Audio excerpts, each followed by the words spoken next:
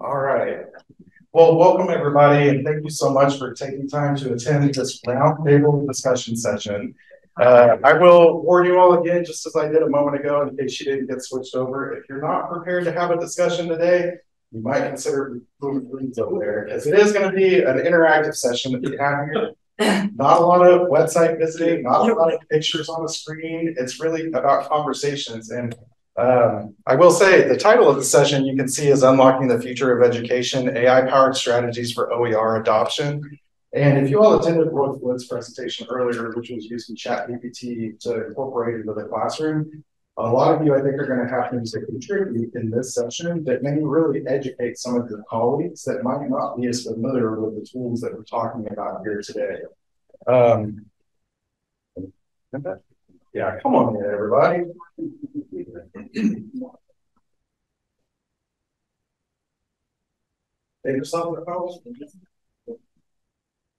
And again, I want to make sure to acknowledge that we do actually have a virtual audience present. So I want to wave hi to you all that are attending virtually over there and to let you know that you can interact with each other and follow along with the roundtable discussion using the chat, uh, if that works for you all that are attending virtually. And we have a moderator in the room, which is Crystal Smith, who's going to make sure that we capture and share the content that's going on in the chat. Um, once again, I'll remind you all, you have QR codes on the table too that you can scan and join this session from your phone and even chat with the virtual attendees if you want to. It won't connect your audio because you're here, uh, but just know that you have that opportunity to do that I'm going to start out today by telling you kind of what the sequence is going to be for this roundtable discussion. And I really tried to pare it down to action items. So we're going to begin with just a couple of ground rules for participation in the discussion. Also, a little bit of information about me, uh, more focused on my role and what I do to interact with AI and why I propose this session. I'll make that pretty clear in the next slide we're going to discover some things, including what OER is. I want to make sure we have kind of a universal definition in case you may not have heard one today uh, that we can all agree upon here. Talk a little bit about how AI can be a companion for educators. Uh, we're going to talk a lot about streamlining because I know that's one thing you all have probably picked up on in a couple of these sessions that you've attended today is that the world we're talking about here has a lot of rewards as far as improving student learning outcomes, uh, increasing affordability, and all those other things. But when faculty are the ones that have to carry this weight by and large, uh, it's hard. It's a lot of stuff on top of things that we're already asking them to do. We're going to talk about creation and how you might use AI tools to enhance the outcomes in your course. So how could AI be a companion to you as you decide, you know, I want to grow this component of my learning outcomes or a new technology has come that I need to start incorporating now? It can lift the weight off of you in some cases and really be a brainstorm partner for you, which we'll talk about here a little bit later. And then in the final part, um, I put case studies and action items. In case studies, I actually don't have any to present to you, but I'm hoping that you all might be able to share some use cases that you either developed, uh, you know, with your perspective out of this session, things that you might know of that you've seen in other places. Maybe your colleagues have used AI, uh, you know, maybe using or adopting OER or elsewhere. And I'd really like to give some space for us to share those things out. Or maybe again, talk about what's not happening yet, but could within this realm of OER adoption. So does that sound good to everybody? Hopefully not too fearsome. Okay. So to start out with, uh, who, what, when, where, and why. So my name again is Brad, in case you all haven't had an opportunity to meet me yet. And I actually started out working at UCO in 2013 as an academic advisor. Following that, I was an instructional designer, uh, learner experience manager, and a number of other, yes. Oh. Thank you. Oh, Crystal's back there. It might just be a lag on there too. Thanks, Crystal. Um, but again, those roles that I've had over time really, I think, give me a perspective of student advocacy and also an understanding of how technology can really empower students and also faculty in their role to be able to serve those individuals across our campuses, whether they be attending in person or online, uh, which again has become many or much of our bread and butter these days. I have an opportunity these days to actually work with, I want to pause.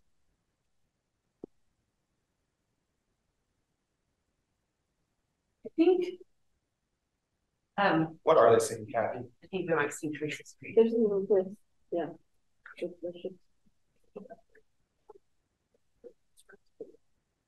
And her share screen icon is green.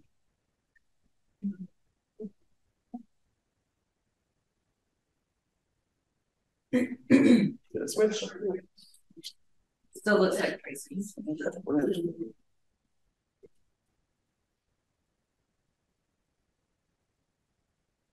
Good change.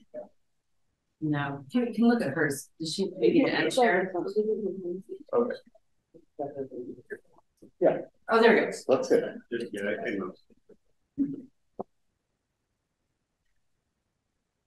Thank you to our virtual participants for your patience. We'll just go with it on this computer. That's okay. I don't want to. Are you sure? No, it's working. Okay. No, it's not. That one. Now we see our pass for today. Oh, it's because I found. Oh, you're just, you're just watching for.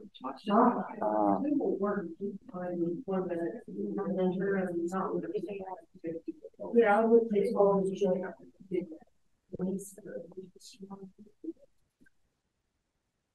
Good. I'm gonna experiment with something. I'm gonna pull Sarah and click and click this button.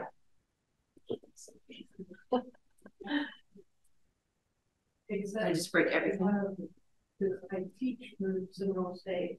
And I'm in charge of all kinds of other youth.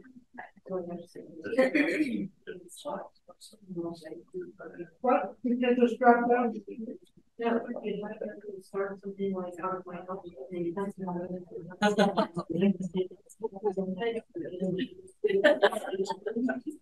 Oh, every time it was. Not everybody ready. On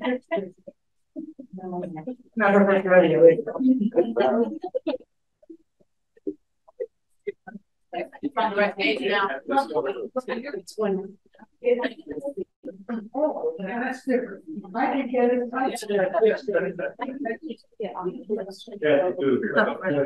Yep, yes. Oh, he did say that everything's fine. He tried to tell you guys. Now we're on to you.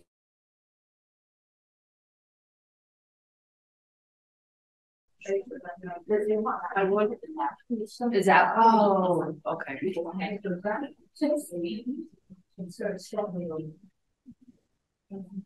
Okay, I think that we should be set up again here. This has been like the day of tech troubles. I do not understand what's going on with computers around here. Um, so to pick back up again, my role again at the state regents involves also overseeing or serving as liaison. Just making sure we're all together up here. Thank you.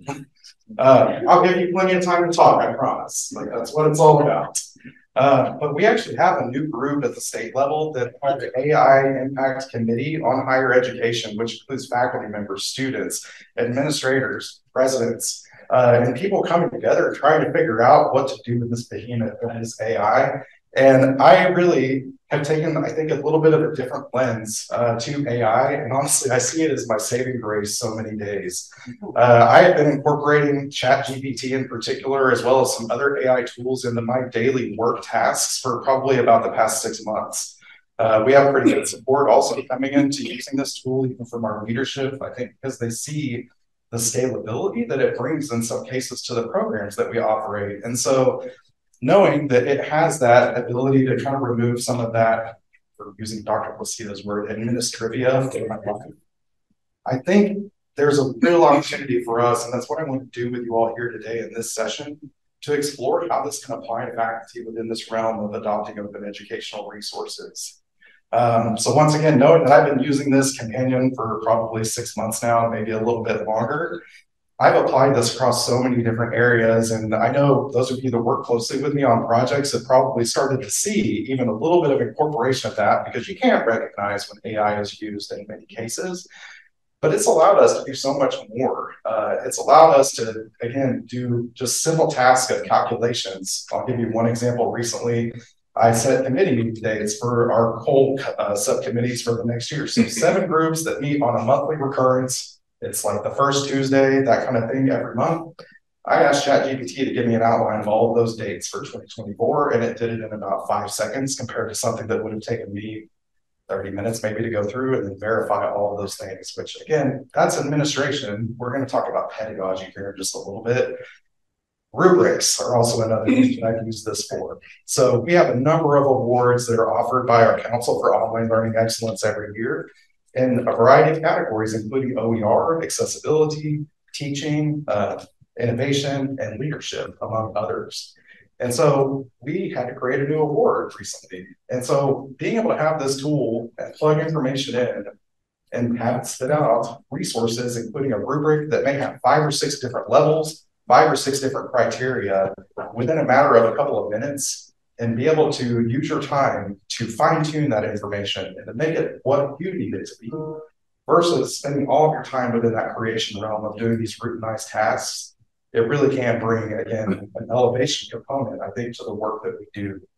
Uh, this is also kind of what I hope that we're teaching our students to do within the course of college classes and other types of programs, including some of the micro credentials that we'll have launching later this year.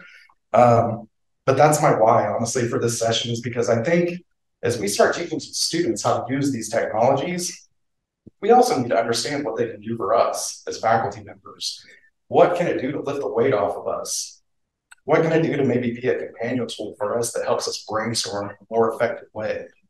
Another example I'll give you is with some of the funds that we manage through the state regents. I've used ChatGPT to ideate on program structures that we can set up to be able to offer grants to faculty for open educational resources, the special project grants for micro credentials. If any of you might have seen that, uh, which closed just this last week, um, it's just amazing the scalability, expansion, and companionship of thought ultimately that I have personally been able to find out of this tool. The other why for this session is that I actually did adopt an OER textbook in a class that I used to teach at the University of Central Oklahoma. We were using a McGraw-Hill textbook uh, called Business Statistics. It's used commonly in many business courses. The author's Jaggia. And the cost of that textbook was $200 a pop for students going through there. And because of the scope of the learning outcomes in our course, we were using six out of 18 chapters in that book. So OER was the perfect solution for us because I was able to go into my course, get those learning outcomes, find the resource that matched it instead of the other way around. But what I didn't have at that time is a companion to help me build out all of this other ancillary materials, resources, enhancements to that openly licensed text, textbook that may have made it an even better version than the one that I came out with. Not that we can't still go back and make some of those modifications because it is OER, but again, I was spending hours going through and trying to organize things, uh, even understanding the OER that I was looking at on the internet. this tool can help you scan resources and make sense of them and summarize them. So again, that's the why here is because I see this as an opportunity to close the gap for faculty that are thinking about adopting OER and being creative and again, not having to carry all of that weight solo at the end of the day. Oh, come on now. We just had all this mixed up.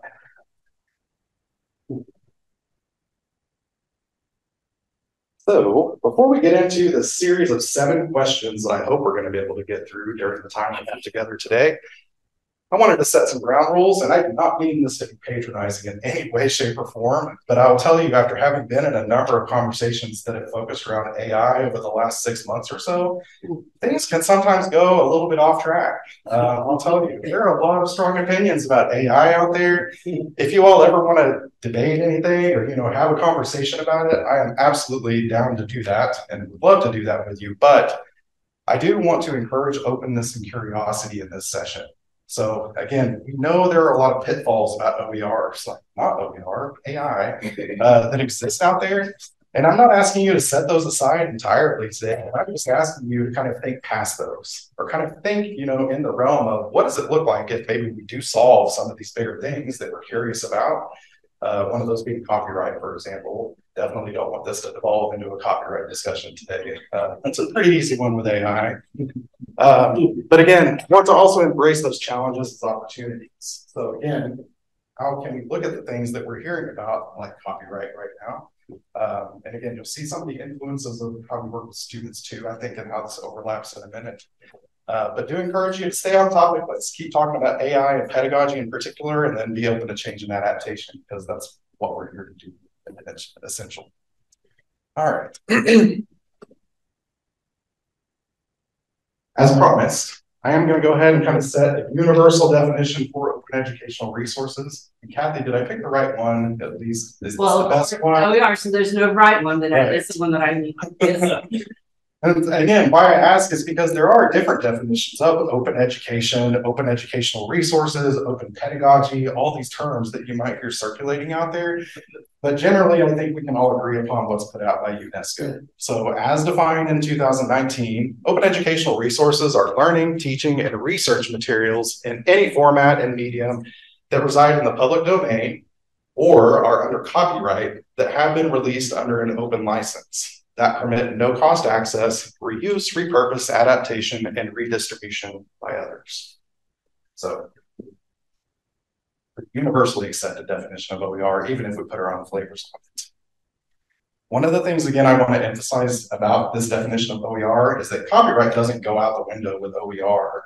Copyright is somebody, or OER is somebody, if the material is copyrighted, making a decision to share that with an open license they are agree that other people will be able to take that work, make adaptations of it, share it with their students elsewhere, sometimes even make money off of it, uh, depending upon what attributions they apply to that. But again, I hear that misconception a lot that OER and copyright, they do swim in the same waters. It's just that the people have materials that they're agreeing to share. So first roundtable discussion. What responsibilities and challenges do faculty face in adopting open educational resources? The way that these discussions are going to happen is that those of you that are at the roundtables, and it looks like we have four or five or six at most, and I think that should be good. Give you about four minutes to have this discussion at your table. And then we'll probably do two or three tables, I think, of share outs, um, you know, with responses for the series of questions that we have here. Virtual attendees, I would invite you all to interact in the chat and brainstorm there with each other. And as I mentioned earlier, Chris will actually account for your conversation there and share that with the rest of us. Um, but go ahead and again, I'll circulate the.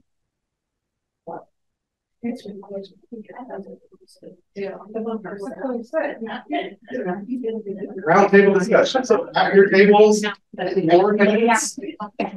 I'll be my students. What I would tell you is time, I'm just gonna be messy, but you have some.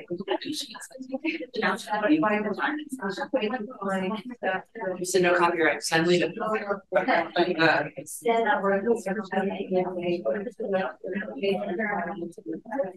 Yes.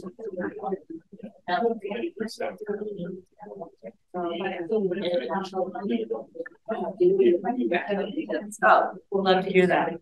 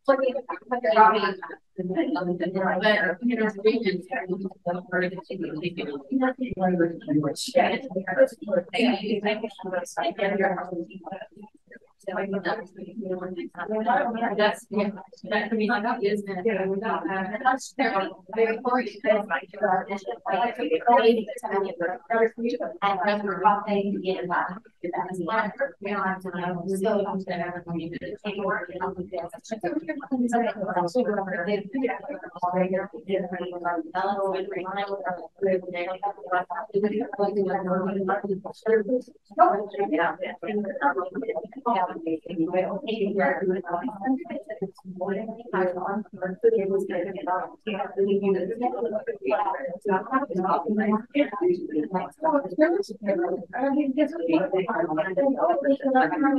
gente se ha dado cuenta de que se ha dado cuenta de que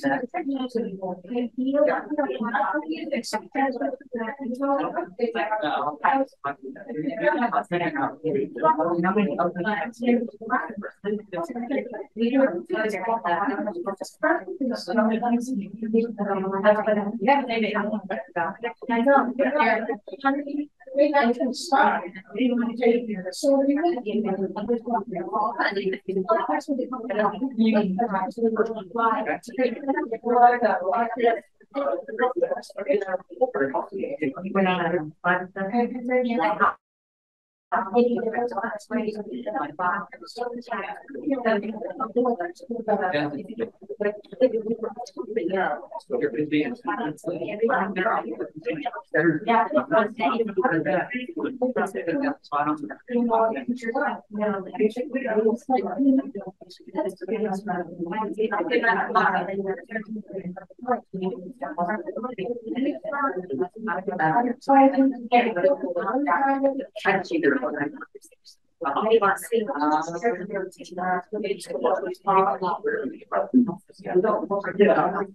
Yeah.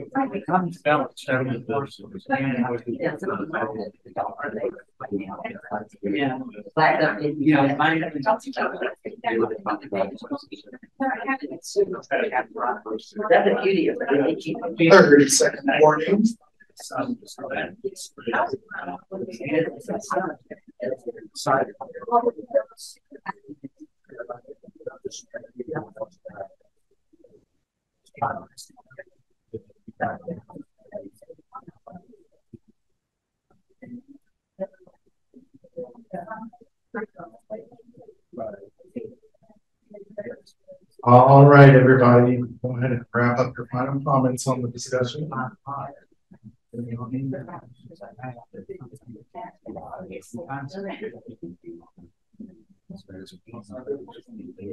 All right, Crystal's gonna start out by telling us about the discussion that's been uh, going on in the virtual chat. Um, so hopefully I know this, but the kind of the main things that I'm seeing there is um, concerns about copyright and licensing. Um, making sure they understand it, feeling like maybe they don't understand it, not sure when they can use it. Um, and the other comment is that they have to create the extra materials that the publisher would normally do. So it's not just writing out a lesson, it's also providing the extra pieces they don't want their students to miss out on. Um, and with that, they mentioned that those things can be built over time, that it's probably not going to be all done at once. And you want to get. Thanks, Sean. We talked about a lot. So I think some of our challenges were um, accreditation. So some departments need certain materials for their accreditation. They can't just change part of using or um, accessibility issues. They're afraid to mess that up. Responsibility is just because they're responsible for updating that material, making sure that they're the ones, if something changes, they have to go ahead and change it. So two great time times like Ursula was hearing there, again, creation of ancillary materials and updating materials. You can't just go with your OER for a semester and then let it coast. Uh, we know publishers are out there updating books every year at minimum because they're making us get a new edition from our bookstores very frequently. Um, but those are two big concerns and copyright again in echoes there too. That's gonna be Let's see. How about this table over here? Kristen, do you want to- Well, kind of like what you guys said, um, Aaron and I work at a small rural college and when you create a class, it goes through lots of processes. So we have all these classes created and yeah, now if you're adding an OER, which we all want to do, we don't have time to recreate that class and align the assessment and add type the um, discussions and the activities. We all want to do it, but we don't have a lot of time to recreate every one of those classes. Aaron, anything else? Uh, Yes. One more here, I'll get over our friends over here. Lisa, I know you have a little experience in this realm, because we worked on a project together. Uh, yeah, I should be We talked about the time and then as we talked about everybody. Need complete buy-in, if you have uh, multiple teachers teaching the same class like the OSU speech communication teachers, they're all on board. But if you have one person that's not on board, they stop the process. Finding the right OER, we talked about that. We talked, I talked about how we had two different ones that we went and looked through, and that could be challenging just to find what you need. Um, people come and go. What happens when the original author no longer with the university? And then assessments, talk about assessments and alignment with course objectives. That can be difficult too. That can add to the time commitment. Sure can, especially if you're doing it the right way. All right. Next question over here. What AI tools are available and useful? I want to focus on useful again. Uh, let's put it in context for faculty, instructional designers, or other colleagues that you might have. So again, specific tools that you know of within the AI realm. And this may be the space again where those of you that aren't as familiar with these tools may be listening to hear some of the responses from the other tables. So that's okay. But what are the tools that are available and useful for faculty to give a try in particular? But again, instructional designers and other colleagues as well.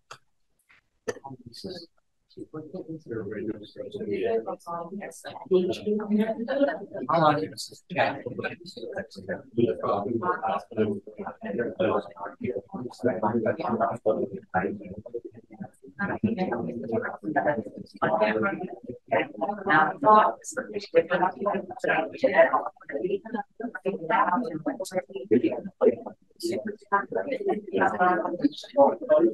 is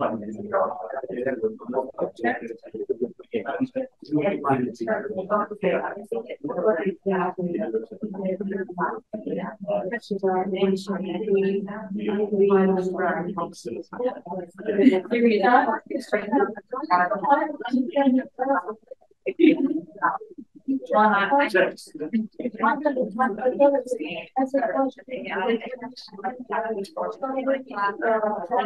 you.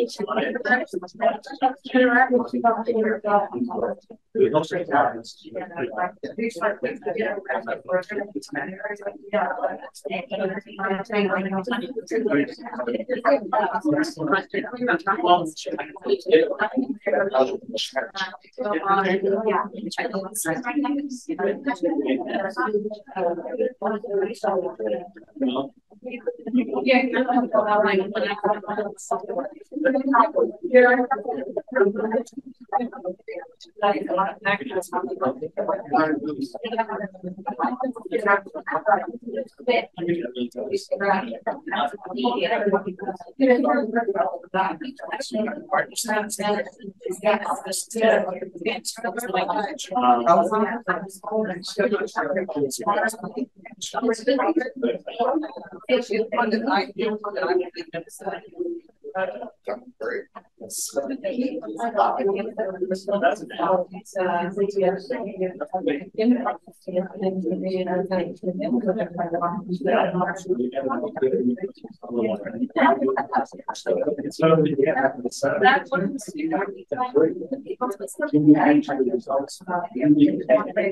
One of them. Like it's on Actually, yeah.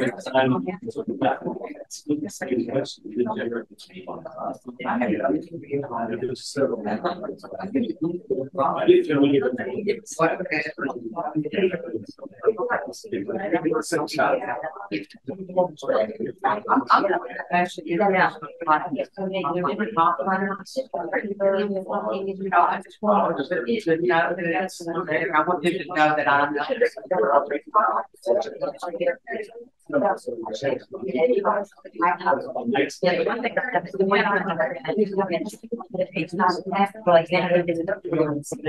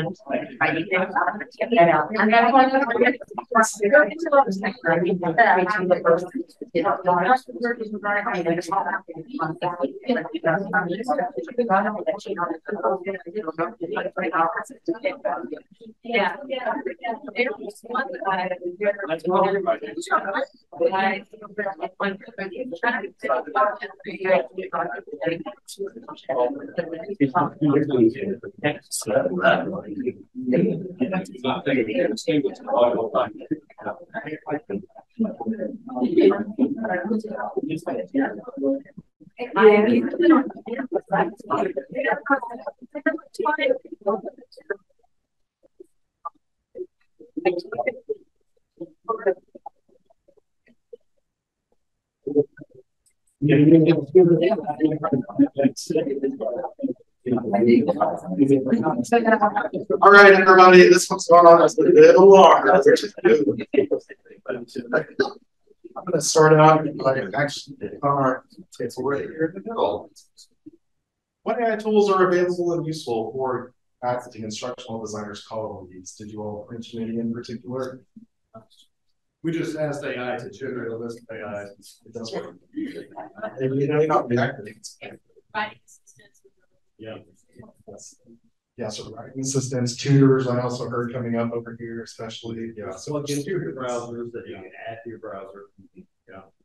I found out about GPT, PPT, and Slides GPT. One, one out this one out there is Poe AI. It's one that's like a meta AI. It has multiple AIs in there. You can test several of them out at like the same time and put them on your list. You can even create your own AI. DOE, yes. So some of the others I've heard about, just because I want to get into the discussion. Um, so ChatGPT, obvious one, Photoshop. Photoshop has, has AI integrations now too, which I think is very curious. Khan Academy has the Khanmigo tool, so it's an integrated AI tool companion within Khan Academy. What's it Uh, called? Khanmigo, K H A N M I G O. What is it? On what? Vigo. Yeah. Yeah, like Amigo. and- Uh, we have Bard from Google, which I've heard mixed emotions and opinions on Bard, uh, especially compared to quality to ChatGPT. Uh, we had two focus that were one called GPT PPT and Slides GPT. So slide creation and editing tools. I think that's one that could be particularly compelling for the audience we're talking about. Google has Google Labs, which is a companion tool now included in the G Suite. Uh, Microsoft has the same thing with its Copilot tool that's in the 365 system. Zoom, as well as some of the other video conferencing platforms, have note-taking capabilities there. Uh, Grammarly is also an AI tool which can be integrated across multiple platforms, including Google, Microsoft, elsewhere. And then the uh, last one I heard was Poe AI. Harmonize. Of AI. I should Harmonize. That's a great one, Margo. Uh, Harmonize is actually an online discussion platform that allows faculty to create discussions using ChatGPT within the tool. So they can start out, you know, with typing a question and ChatGPT will help them within that system to make it a better discussion. Uh, again, a great companion. Any others, anybody in particular wants to give a shout out here or make sure that we didn't miss from the very short list that was discussed? There's a really great one I use called Goblin Tools. Uh, there's an app for acts like a dollar, or it's free in your browser, goblin.tools, and it helps break down tasks. So if you, it also has like a meal thing, which is fun. You can put in like the ingredients that are in your fridge and it'll break for, um, for you. Um, but tab, I, I used it for like revising papers, like if I just stuck, like, what are the basic, most basic steps of revising a paper? And it can break down, and then you can break down tasks with within into subtasks, into subtasks more, and more, more. So if you're, uh, it's really good for uh, like neurodivergent students or neurodivergent faculty, and uh, it's just it's my favorite. That's an amazing example. Um, one thing before we get on to the next question that I want to make sure to emphasize is that a lot of the platforms that we mentioned here were really focused or existent as large language models. So large language models are what ChatGPT is, which basically is scan the existence of the internet, which I know is the lowest possible paraphrase I can give that. And then again, you can prompt things into it, ask things out of it, uh, shape the responses of it there. But AI exists in so many other content realms beyond just language creation and this kind of dialogue and interaction that exists there. And one of those I can give you an example of is with image generation. So you heard Photoshop mentioned there. Photoshop has an AI companion built in now. There are other platforms out there, though, even including uh, Midjourney. You may have heard that one mentioned before. DALL-E, yeah. that's another one you may have heard mentioned before. And so I'll give you an example of the way that we've used this actually at the region. So our supervisor, the division, Dr. Placido, he wanted better artwork scattered throughout our offices. And so sent out a survey to every staff member that's on our academic affairs team and asked them to create a dream vision. So a written written statement ultimately, uh, and he plugged that into DALL-E and Midjourney and created images for us to select and it's going to have those printed and scattered throughout the office. So cool. I plugged mine and that's actually it's like Oklahoma's kind of digital uh, ecosystem of education, bringing micro credentials online learning OER together is an opportunity for career pathways.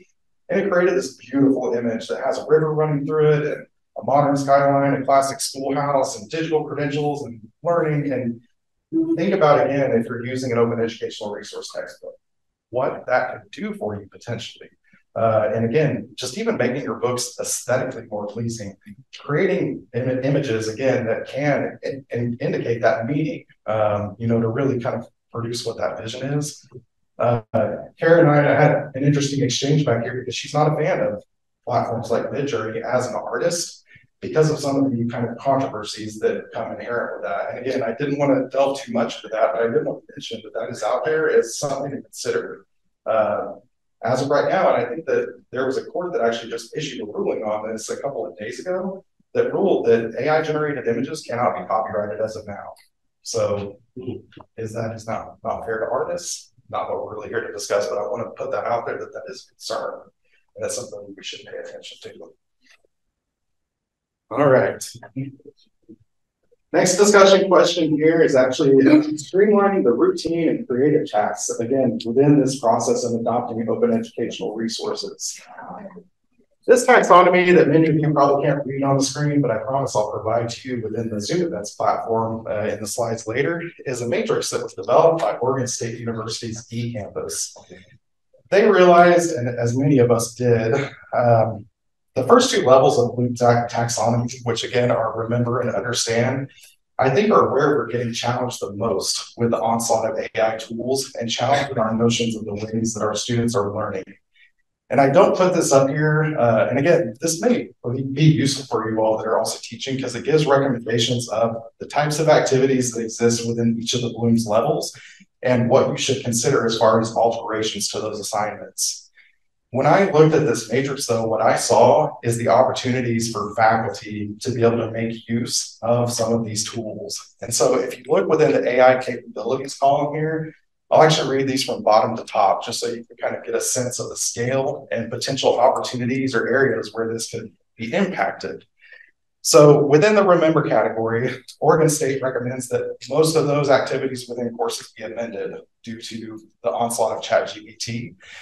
But AI can recall factual information, list possible answers, define a term, construct a basic chronology of information.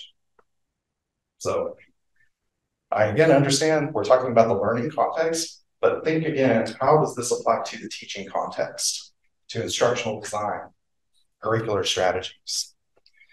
Within understand, AI can describe a concept in different words, recognize a related example, or translate things. I can think of so many examples, Lisa, in that data analysis book where I could have made enhancements to what it is that we put out using this tool. Within application, they again encourage a review of the current activities that are underway, but you can make use of a process, a model, or a method to illustrate how to solve a quantitative inquiry. I use ChatGPT all the time for quantitative inquiry because I promise you it's not always accurate. I actually had to do some simple additions from an Excel spreadsheet today, and it was about seven thousand dollars short of my calculations. Caution. Right. uh, within analyze, comparing and contrasting data, inferring trends and themes, computing, predicting. Within evaluation, identifying pros and cons of various courses of actions, developing rubrics. Rubrics, again, very helpful tool here. And then within creation, this again, I think is where there's a lot of promise for creativity. And again, it's not that you're letting the AI tool write the content for you, but it can serve as a companion and enhance the way that you think about your learning outcomes. It can synthesize things that may have innately been in the back of your mind all along within your subject matter area, but you just hadn't explicitly put those dots together. I've had so many epiphanies using this tool within my own area of work with that regard. But again, suggesting that range of alternatives, enumerating potential drawbacks and advantages, describing successful real world cases. So once again, this is focused on learning, but I encourage you to kind of flip that model towards the other direction and think about how this can empower you or your faculty to adopt open educational resources.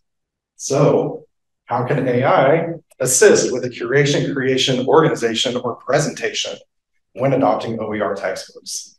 We'll give you four minutes on this one, and then I think this might have to be our last question, unfortunately.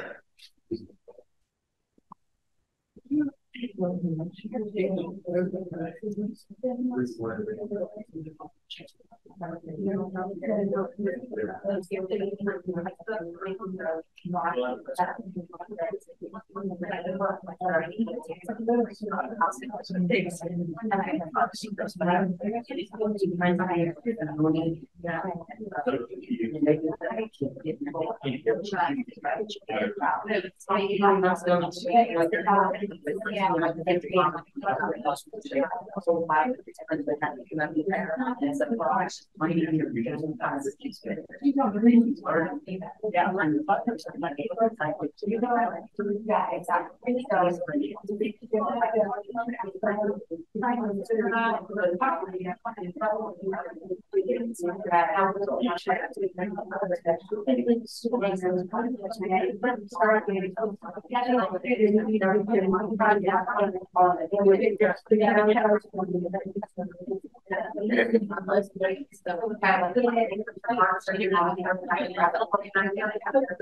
Yeah.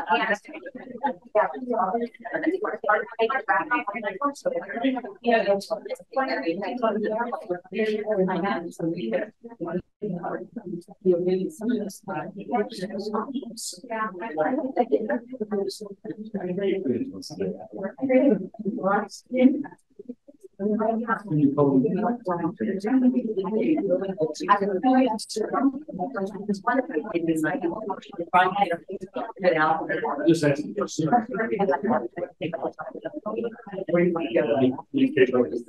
You're not getting your friend. Yeah.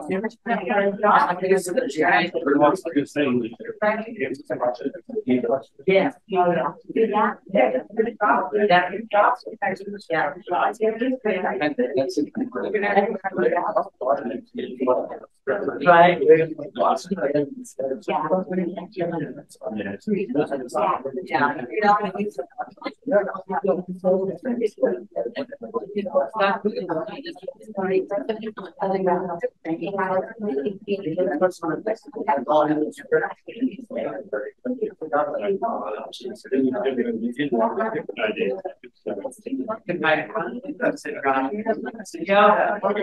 thanks. Okay.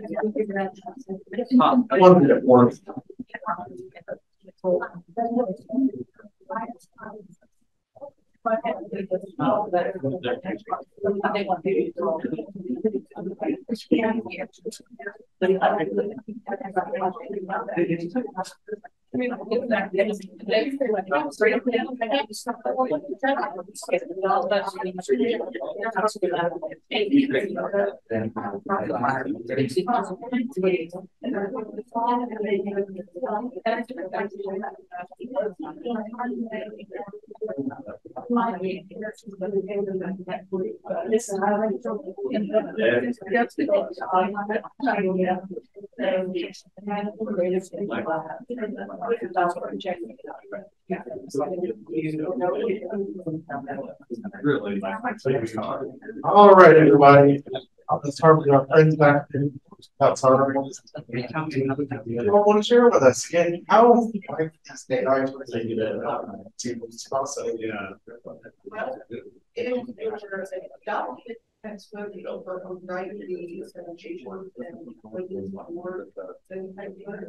And gradually writing it, mathematics, sales, formatting, and basically, help you structure your textbook with a logical flow.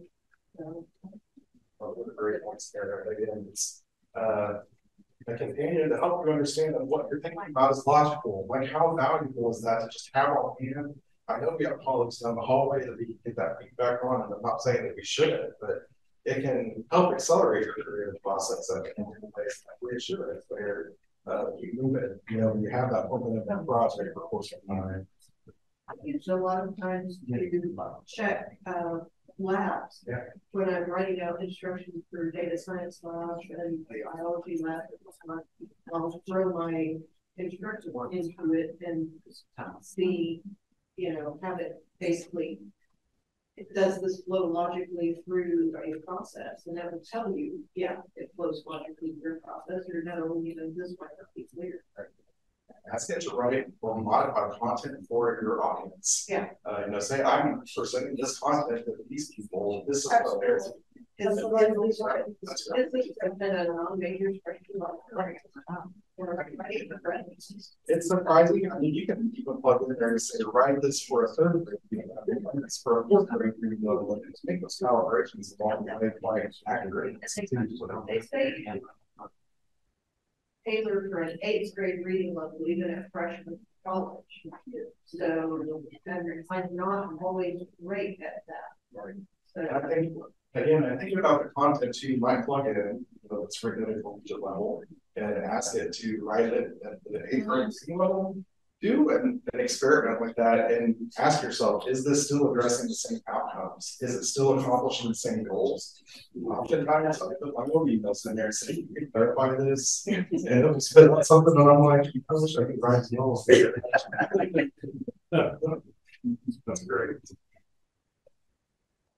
That's great. I think about all the tables so far, I wanted to actually stay with only because we're running out of time here. I want to actually give a chance, is there anything else anybody wants to shout out about what this can do for faculty? In line also with this question here. How could these tools also help our faculty with grading and feedback practices? rubrics. Rubrics, yes. It's the most succinct and exact and precise rubrics you may ever imagine. That's right. It makes me disappointed in my skills sometimes. But can I do as well as I can? But again, any other enhancements within this realm? Being able to, being able to get it to modify feedback. like. I don't usually make comment all the time, but how do you say, you hit all the requirements, you did really well on this. Eight times across, you know, the course of the semester. So you can ask it to reword things so that you're not just regurgitating the same comment. all Has anyone, has anybody ever been uh, sitting up at eleven o'clock at night and thinking, I need to create a test bank and I need to create repetitive questions. Why not ask ChatGPT to create problem sets to do with feedback on correct, correct responses? Crystal, yes. She wants to go there. From the chat, if we're submitting our feedback, maybe ask AI about telling you about it. Got to assume. All right.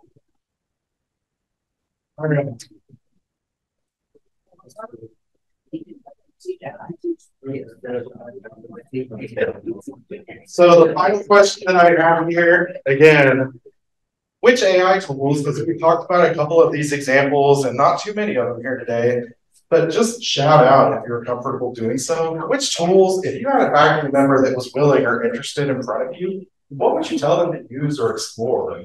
How would you tell them to use the tool within OER or even elsewhere at this point? Which tools would be most valuable for them? Some human that knows more than I do that can answer my question. So human companion to go with the AI companion.